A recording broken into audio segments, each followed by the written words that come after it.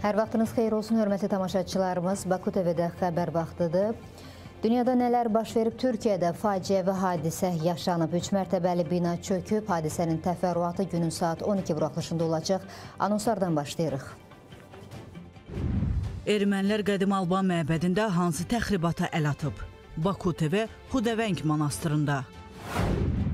Üç mərtəbəli yaşayış binası çöktü, dağıntılar altında qalanlar var. Türkiyədə faciəvi hadisə. Krokus City Hall konsert zalında törədilən terrorla bağlı həbs edilənlərin sayı açıqlandı. Onlar başqa hansı cinayətlərdə təqsirli bilinir?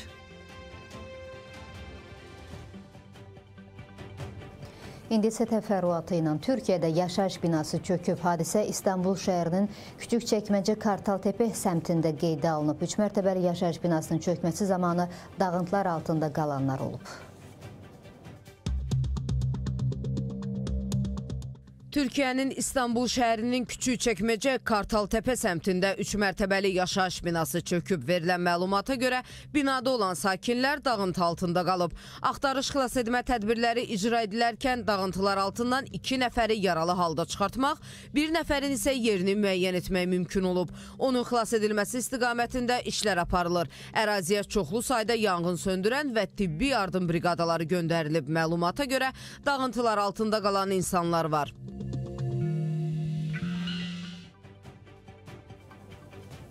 Bəli, Türkiyədə baş verən hadisə ilə bağlı hadisə yerindən görüntüləri təqdim eləyəcək canlı yayın vasitəsilə. Xatırladaq ki, Türkiyədə bugün yaşayış binası çöküb, Küçük Çəkməcə Kartaltepe səmtində baş verib hadisə və yaralılar artıq xilas edilib, iki nəfərin də xilas olunması gözlənilir.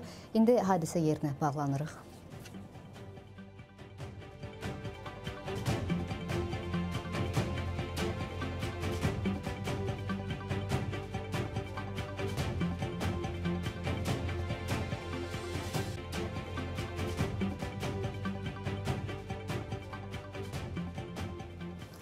Kadrlardan gördüyünüz kimi artıq hadisə yerində gərgin şəkildə axtarış işləri davam eləyir. Hadisə ərazisindən sakinlərin təxliyəsi baş tutub. Çoxlu sayda sağlamlıq qrupları, təcili tibbi yardım qrupları, AFAD əməkdaşları hadisə yerindədir və qeyd eləyək ki, ümumi olaraq binada 9 nəfərin olması bildirilirdi. 7 nəfər xilas edildi. Onlardan ikisinin vəziyyəti ağır olaraq qiymətləndirilir. 5 nəfərin isə vəziyyəti müqayisədə nisbətən stabildir. Qalan qalan iki nəfərin isə axtarışları davam eləyir və e, axtarış tədbirləri zamanı itlərdən də istifadə olunur. Belə ki, son məlumata görə axtarılan iki nəfərlə də səs əlaqəsi yaradılıb. Hazırda xilas etmə işləri davam eləyir. Gördüyünüz kimi Polis də ərazidədir, bəli, hüquqi tədbirlər də artıq həyata keçirilir, araşdırma işləri aparılır və qeyd eləyək ki, hadisə ilə bağlı səbəb hələ ki məlum deyil. Bu barədə açıqlama veriləcək və qeyd eləyək ki, hadisə yerinə az əvvəl İstanbul valisi Davud Gül də ə, gəldi və son açıqlamaları verdi. 7 nəfərin xilas olunması ilə bağlı və media mənsublarına müsahibəsində həmçinin qeyd elədi ki, bina 1988-ci ildə tikilib və e, xoşbəxtlikdən bazar günü olması səbəbindən Əslində normalda çox işlək bir küçədir, sıxlıq yaşanan bir küçədir, amma bazar günü olması səbəbindən, məktəblərin, iş yerlərinin bağlı olması səbəbindən xəsarət alanların sayı azdır və xoşbəxtlikdən ölən qeydə alınmayıb. Və hazırda axtarış xilas etmə tədbirlərini izləyirsiniz.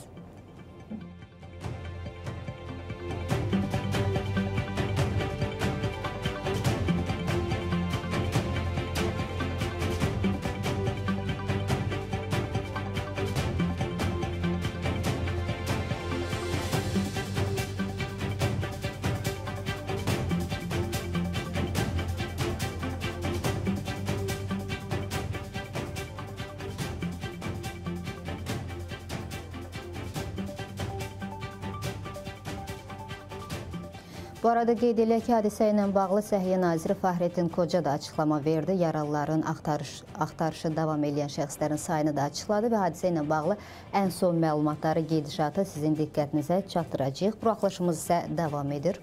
Bir müddət öncə Moskvada Krokus City Hall konsert zalında törədilən terrorla bağlı həbs edilənlərin sayı açıqlanıb. Məhkəmənin qərarı ilə onların sayı 18 nəfərdir.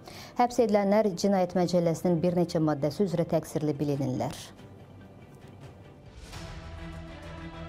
Krokus City Hallda törədilən terror aktı ilə bağlı 18 nəfər həbs edilib. Bu barədə Basmanlı məhkəməsi qərar qəbul edib. Qərara əsasən terror aktı, terror aktına hazırlıq, habelə silah və partlayıcı maddələrin qanunsuz dövriyyəsi maddələri ilə bir neçə cinayət işi açılıb. Həmçinin iş üzrə təqsirləndirilən şəxslər IŞİD-in Əfqanistan qanadına aid Vilayət Xorasan təşkilatının fəaliyyətində iştirakda ittiham olunurlar. Ukraynada müharibə başlayandan Fransa və digər bir neçə qərb ölkəsi rəsmi Kiyevə hərbi qüvvə göndərəcək vədini versə də, bu hələ də yalnız söz olaraq qalır. Bu isə Ukraynada heç də bir mənalı qarşılanmır. Artıq bu ölkədə deyilən hərbi qüvvənin gəlməyəcəyinə inananların sayı kifayət qədərdir. Artıq yarım ildən çoxdur ki, əvvəlcə Fransanın, ardınca da bir neçə qərb ölkəsinin Ukraynaya hərbi qüvvə göndərmə ilə bağlı verdiyi vədin sadəcə sözdə olması Ukraynalıları məyus edib. Elə uzun zamandır gözlənilən silah yardımının gecikməsi də Kiyevdə qərbin qoşun göndərəcəyi ilə bağlı inamı azaldıb. Вы знаете, вопрос относительно... Bilirsiniz, Avropa ölkələrində hərbi kömək və ya da təlimatçıların göndəriləcəyi ilə bağlı səsləndirilən fikirlər həmişə dialoq xarakteri daşıyır. NATO standartlarını öyrənmək və ordumuzu təkmilləşdirmək üçün lazım olan fürsət təəssüf ki, hələ qismət olmayıb. Ümid eləyirəm ki, Avropa İttifaqı demokratikdir və bu məsələ dialoqdan hərəkətə keçəcək. На данный момент э, вероятность отправки Ukrayna ərazisinə xarici ölkə ordusunun gətirilməsi çətin məsələdir. Təəssüf ki, qərb ölkələri Ukraynaya söz verdikləri ordunu göndərməyə hələ hazır deyillər. Buna səbəb onların daxili siyasi vəziyyətləri Rusiya ilə üz-üzə gəlmək istəməmələridir. Amma buna baxmayaraq müzakirə davam edir. Ola bilsin ki, Fransa, Polşa və Baltikyanı ölkələr təlim keçmək üçün Ukraynaya qrup göndərsinlər. Bu da yəqin ki, cəbhəyə yaxın yox, kənar bir yerdə olacaq. Bütün hallarda bu da Ukraynalı hərbiçilərin döyüş effektinə ciddi təsir edəcək. Ancaq bütün bunlar yaxın 2 ayda olmayacaq. Sonra nələr baş verəcək, bunu görəcəyik. дискуссия э, по этому поводу активно продолжается. Qeyd edək ki, yaz aylarından etibarən Ukraynada müharibə yenidən şiddətlənib.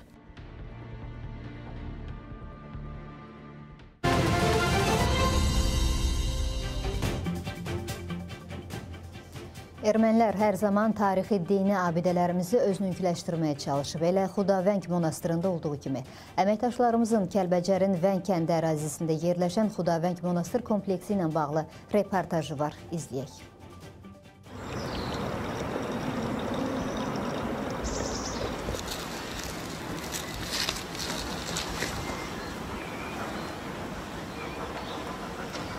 Qədim tarixi memarlıq abidəsi olan Xudavəng monastırına dini və dünyəvi xarakter daşıyan ondan çox bax bu formada tikillər daxildir. Bu tikillər müxtəlif tarixi dövrlərdə müxtəlif şəxslərin sifarişi ilə inşa edilib.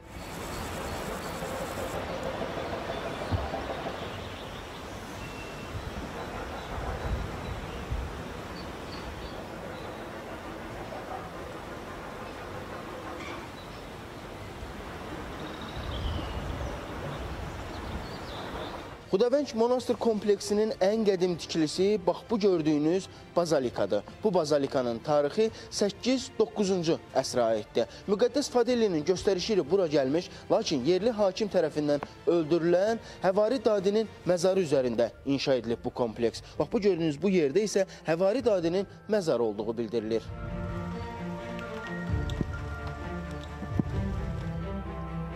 Kompleksin ikinci ən qədim tikilisi isə Arzu Xatun kilsəsidir. 1214-cü ildə inşa edilən kafedral status daşıyan bu kilsə Kinyaz Vaxtanginin həyat yoldaşının sifarişi ilə inşa olunub. Bu kilsəni Dadivəng, eyni zamanda Xatuvəng kimi də adlandırırdılar.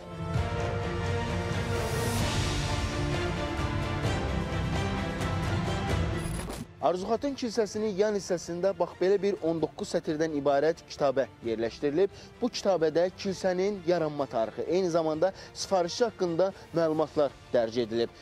Kilsənin yan hissəsinə, yəni bu kitabəyə baxdıqda bəzi daşların dəyişdirildiyi açıq-aşkar görünür. Yəni yeni qoyulub bəzi daşlar. Ehtimal olunur ki, ermənilər sonuncu dəfə, yəni 2017-ci ildə burada apardığı restavrasiya nəticəsində bu daşları dəyişib. Həmçinin daşlar dəyişən zaman ermənilər bu kilsənin tarixini də özünküləşdirmək istəyiblər.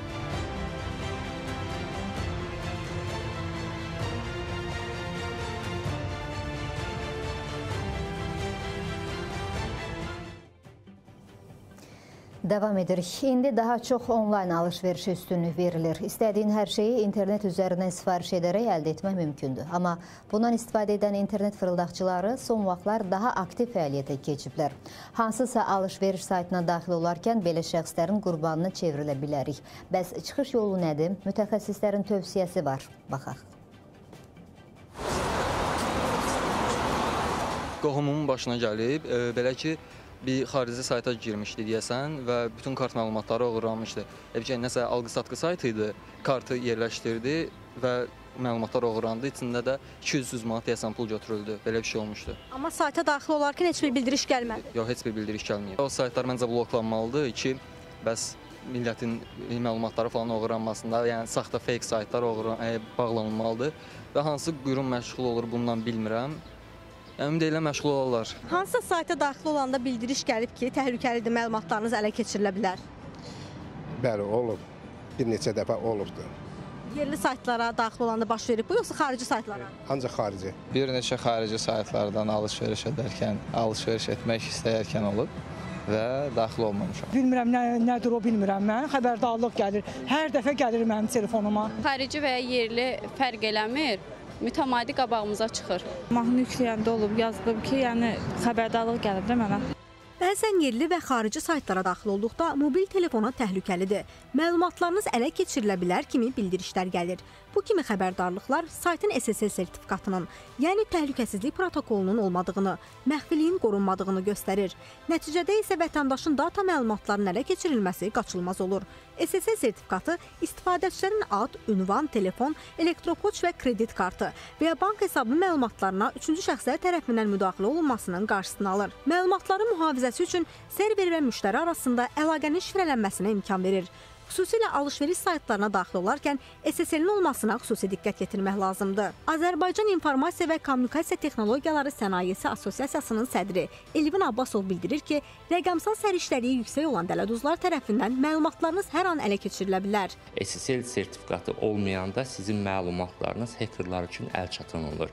Və ya ki, saytın xüsusiyyətində sizdən konum istəyəndə, yəni yer location bilgisi istəyəndə o təhlükəli kimi göstərilir brauzer tərəfindən və bunun kimi bir çox məqam var ki, brauzerlar e, saytlara girişdə onu təhlükəli kimi görürlər. Orda əgərləri brauzerun özünün yaddaşında, yəni e, bazasında yazılmış təhlükəli saytların da siyahısı var. SSL əslində saytın URL-sini yazdığımız yer, yəni domeinin adını yazdığımız yerin yanındakı açar işarəsidir. Əgər SSL olmayanda orada qırmızı orada e, bizə çıxır ki, SSL orada yoxdur. Həmçində brauzer o sayta girmədən öncə təsdiq alır sizdən bu sayt təhlükəlidir, hələ də girmək istəyirsinizmi? SSL-dən başqa konum bilgisi istəyəndə, yəni sayt sizdən yer bilgisi istəyəndə ona brauzer reaksiya bildirir ki, bu təhlükəlidir. Bəs görəsən bu cür elektron resursların monitorinqi aparılırmı deyə elektron təhlükəsizlik xidmətinə sualımızı ünvanladıq. Bəzi hallarda web resurs, yəni sayt sahibləri SSL sertifikatından istifadə etmirlər. Bu halda isə istifadəçi sayta daxil olarkən sayta şəxsi məlumatlarınızı daxil etməyiniz təhlükəli ola bilər xəbərdarlığını almış olur. Qeyd etmək istəyərdik ki, phishing linkləri mütəmadi olaraq elektron təhlükəsizlik xidməti tərəfindən araşdırılır və müəyyən edilən linklərin ölkə üzrə girişi məhdudlaşdırılır. Həmçinin ETX tərəfindən mütəmadi olaraq kibergigiyena qaydaları və onlayn mühitdə təhlükəsizlik qaydaları haqqında tədbirlər keçirilir. Elektron təhlükəsizlik xidmətini ünvanladığımız bu cür internet resurslarının statistikası və monitorinqi necə aparılır və ölkədə ümumiyyətlə hansısa formada phishing, internet fırıldaqçılığının qarşısı tamamilə alına bilərmi deyə suallarımız isə cavabsız qaldı. Qeyd edək ki, son günlər elektron işbazların hədəfində daşınmaz əmlak və dəyərli əşyalarını satışa qoyan vətəndaşlar var. Vətəndaşlara naməlum şəxslər tərəfindən zəng edilərək onların internet ə, üzərindən hər hansı bir saytda yerləşdirdikləri məhsulları, xüsusilə də şirinlikləşdirmə etmək məqsədi ilə ev, ə, torpaq və yaxud da ki, avtomobilin almaq istədiklərini bildirir ə, və behin göndərilməsi üçün kart məlumatlarını istəyirlər. Bəzi vətəndaşlar bildirirlər ki, onlar hər hansı bir şirkətdə məlumatlar yerləşdiriblər, ə, kart məlumatlarını yerləşdiriblər və bir müddət sonra kart hesablarındakı vəsaitin itməsinin şahidi olurlar. Mütləq araşdırma aparsınlar, həmin şirkətlərin etibarlılığını araşdırsınlar və etibarlı olmayan, mənbəyi məlumu olmayan yerli və xarici şirkətlərlə şirkətlərə hər hansı bank sirk ə, məlumatlarını təqdim etməsinlər. Onlayn ə, mağazalardan, onlayn şirkətlərdən alış-veriş edərkən ə, bilməlidirlər ki, onların kart məlumatlarını şirkətlər tərəfindən bütünlüklə istənilə bilməz. Qeyd edək ki, phishing ən köhnə kiberhücum növlərindən biridir və 1990-cı illərdən həyata keçirilir. İnternet fırıldaqçılığının qurbanı olmamaqsa görünür öz əlinizdədir. Belə ki, web brauzerdən sizə lazım olan səhifənin ünvanına daxil olub olmadığınızı dəqiqliklə yoxlayın. Tanımadığınız elektron poçt ünvanı və ya istifadəçilər tərəfindən göndərilən, etibar etmədiyiniz keçidlərə isə daxil olmayın. Bakıda yeni sirk pavilyonu istifadəyə verilib. Emin Ağalarovun təşəbbüsü ilə Sibris Ailəvi İstirahət Mərkəzində yaradılan pavilyon yay mövsümü boyunca uşaqların əyləncəsinə rəng qatacaq.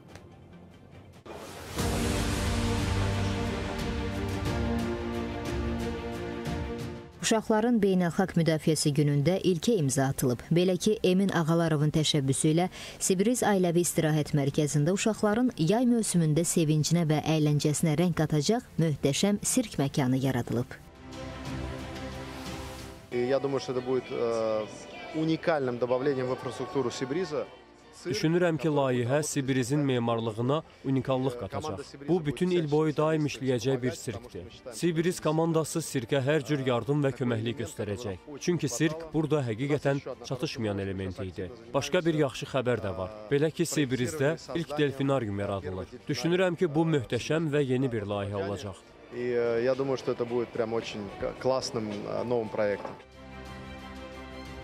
Proqramlar həminki kimi, həmişəki kimi necə təşkil olunurdu Azərbaycanda, həminki kimi burada da təşkil olunacaq. Amma ə, buranın особенный, bu особенный sirkdir ki, çünki bu şatyordur. Ə, Çalışacağıq ki, maksimal olaraq ə, ən qəşəng, gözəl-gözəl proqramları burada təqdim eləyək bizim tamaşaçıya.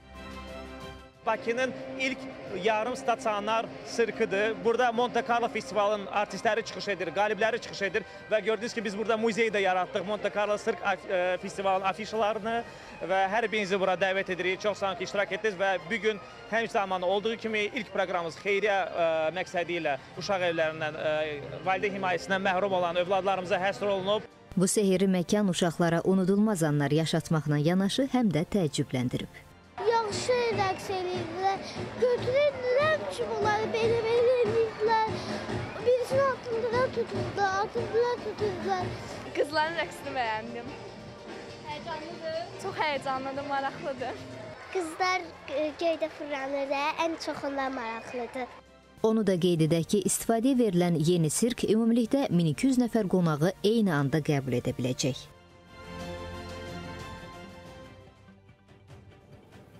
Belə hörmətli tamaşaçılarımız, bu saata çatdıracaqlarımız bu qədər. Bizi sosial şəbəkə hesablarımızdan izləməyə davam edin.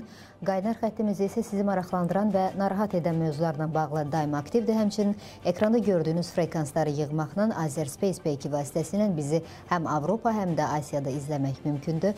Eyni zamanda kabel yayımında Aztelekom Bak Telekomda 10-cu, Citynet-də 18-ci, Connect TV-də 2-ci, KTV-də analog yayımda 12-ci, rəqəmsal yayımda isə 22-ci kanalda. Ailə TV-də isə IP yayımında 66-cı, rəqəmsal yayımda 16-cı, analog yayımda isə 13-cü kanalda bizə baxa bilərsiniz. Baku TV, ATV Plus-da da yayımlanır. Axtarış verməklə kanalımızı tapıb bizi izləməyə davam edin. Saat 15-də təkrar görüşənədək hələlik.